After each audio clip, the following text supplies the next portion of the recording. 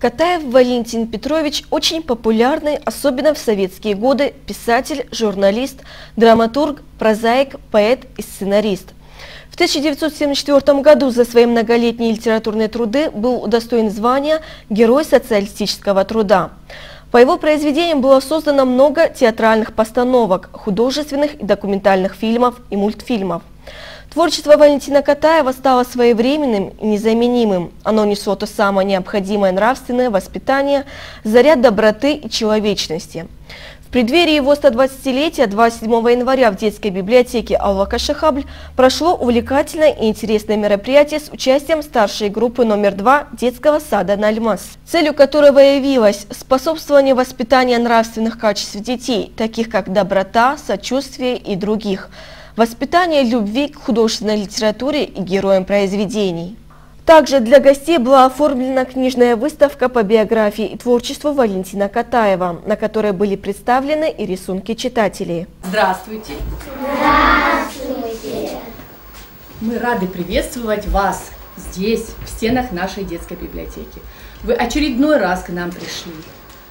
И э, этот раз мы будем говорить о сказке «Цветик-семицветик». Валентин Петрович Катаев. Да, ребятки? У этого дедушки день рождения скоро, 29 января. Если бы он был живой, ему было бы 120 лет. Но его нет среди нас. Но зато память о нем жива. Он написал много книг. Для вас, для самых маленьких, он написал «Цветик-семицветик», э, кувшин и дудочка, пень, голубок. У него для маленьких есть. И есть и для среднего школьного возраста. Сын полка, билет, парус одинокий. Но это вы, когда уже пойдете в школу, вы будете читать эти книжки, брать у нас в библиотеке, да, детки? Когда он стал писать книжки, ему было 9 лет. Не книжки, а стихи. Он и поэт, и драматург, и писатель. Вы знаете, кто такой писатель? Который пишет книжки, да, детки? Да. Вот.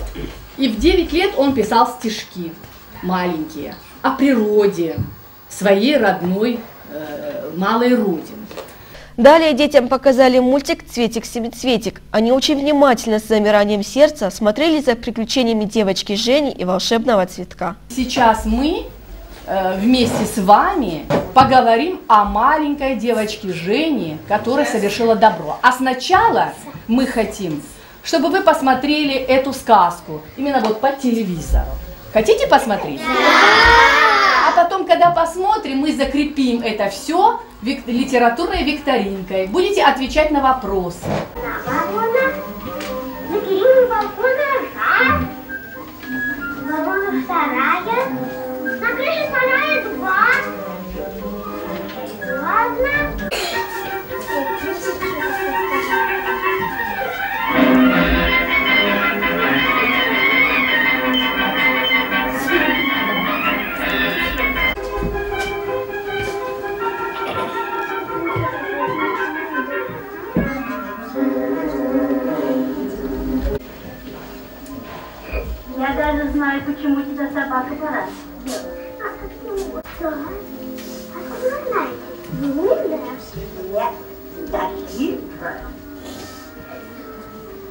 Ничего, Женечка, не плачь.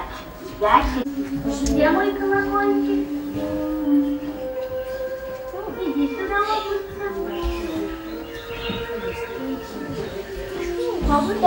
Стой. Здравствуй розовый, бросить его в и сказать, ведь ты лети лепесток через запад на восток, а ты лети лепесток, лети, лети на дальний восток. Забыла. Ой, вспомнила. Лети, лети лепесток через запад на восток, а ты вокруг земли быть покоем или, или чтоб я дома была с баранками.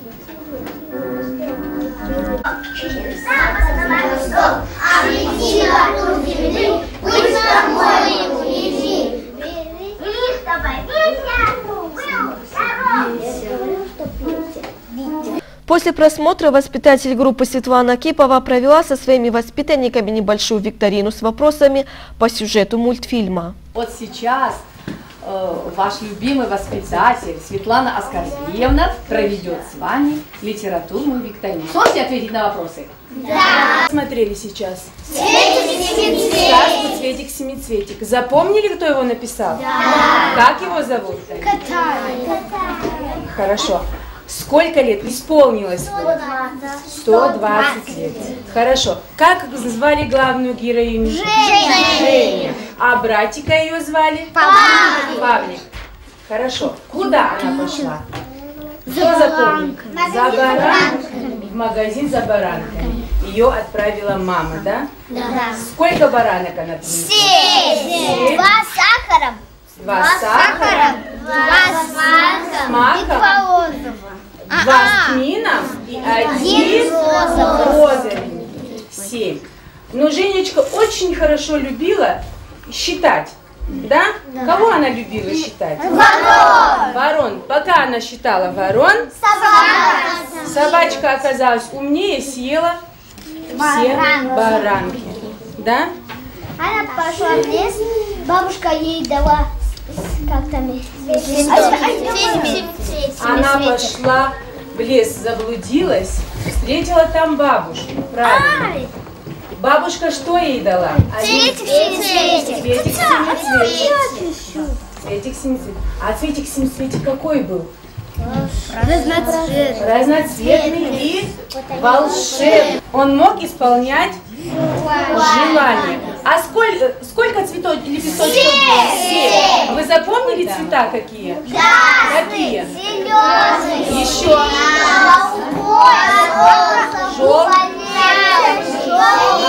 Фиолетовый. А, синий. Молодцы. Семь. Все запомнили лепесточки. На что потратила она первый лепесточек? На что, домой с Максим? баранками. Попасть домой с баранками. Второй на что мы потратили? На северный поле. Разбитую На разбитую мамину любимую вазу. Третий лепесток потратили, На северный чтобы полететь на Северный полюс. Настоящий. Четвертый, Чтобы она оказалась дома, а медведь был в клетке. чтобы прилететь домой, а чтобы медведь оказался в клетке. Следующий лепесточек. Амир. Максим. Она потратила, чтобы все игрушки были ее. Все игрушки, чтобы ее были. А Всем следующий лепесточек Чтобы все игрушки вернулись обратно в магазин. своим хозяевам и в магазин. Молодцы. Самый последний синий, не синий, а Розовый. розовый, седьмой, она потратила на На что? мальчика. Доброе На дело. доброе дело потратила. Помогла Айлана Мальчик. мальчику, не умел ходить. который не умел ходить. Такая добрая девочка, да? помог ей. Она помогла ему, и он стал ходить, да? Но потом оказалось, что лепесточков нету. Она, Она плакала. она бабушка. плакала, огорчилась. А бабушка сделала ей новый цветик. Вырастила ей новый цветик-семицветик. Как она вырастилась? Она же все потратила. Максим, У нее был один розовый лепесток, она его посадила и а закопала. почему этот розовый лепесточек остался у нее? Потому что она потратила на доброе дело. Потому что она ее потратила на доброе дело. Молодцы. А, бабушка взяла. Взяла, посадила и обратно вырос цветочек.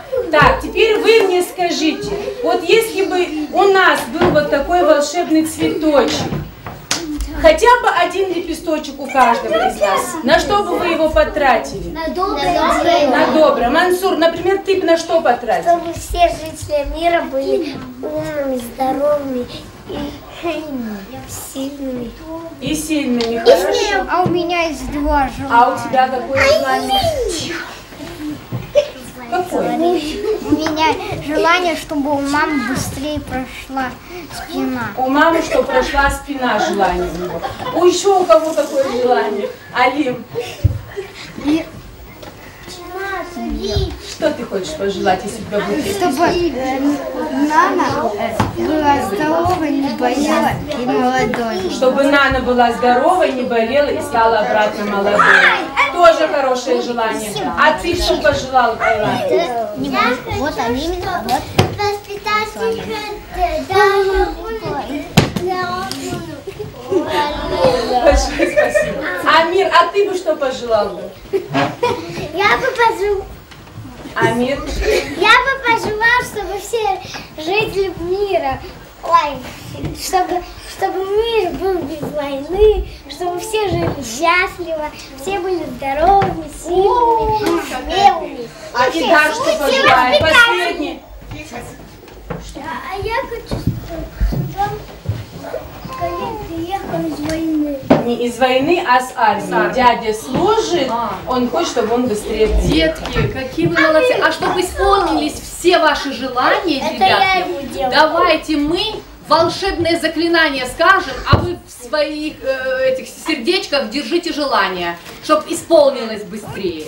Давайте. Э, Желание загадали. Три-четыре заклинания. Лисий, синий песок, через запад на восток, облети вокруг земли, быть по-моему любви. вели, чтобы мое желание Старшая группа номер два детского сада «Нальмас» пришла не с пустыми руками. Детсадовцы принесли красивые рисунки, которые сами и нарисовали. На память о своем посещении они их подарили библиотеке. Цикл мероприятий, посвященных творчеству Валентина Петровича Катаева, будет проходить вплоть до майских праздников. Очередная подобная встреча в районе пройдет с учащимися первого класса школы номер два.